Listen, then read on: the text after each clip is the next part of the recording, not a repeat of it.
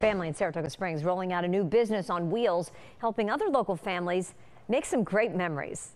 Cassie Hudson joins us with their story this morning. Cassie, good morning. Hey, Good morning. Now, after working more than 60 hours a week in his corporate job, local dad making a career switch that would not only change his life, but bring him closer to his family. Just take a listen.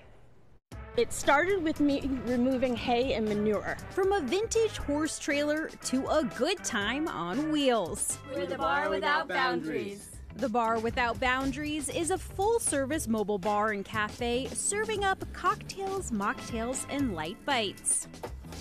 We travel around, we do special events, weddings, backyard parties. We're all, all over the place. The wheels started turning for the business earlier this year when Richard Alexander came to a crossroads in his life. I ended up losing my job in April.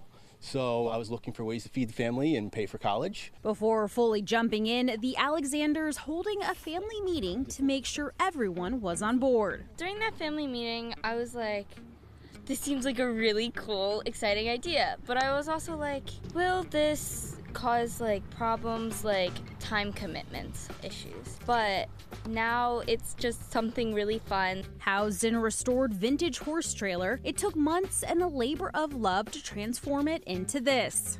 Come on in. I'll show you where the fun begins. The hardest part, believe it or not, was figuring out a name. It took us uh, weeks and weeks to figure out That was like the, the, name. last thing we did. Yeah. Every member of the fam plays a role in the business. Hurricane of sugar.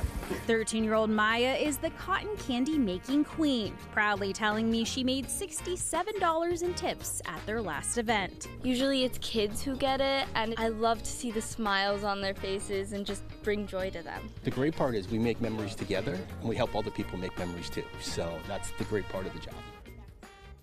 And the family business has some exciting local events coming up, including the Saratoga Giant Pumpkin Fest taking place tomorrow. They'll be there and they would love to meet you.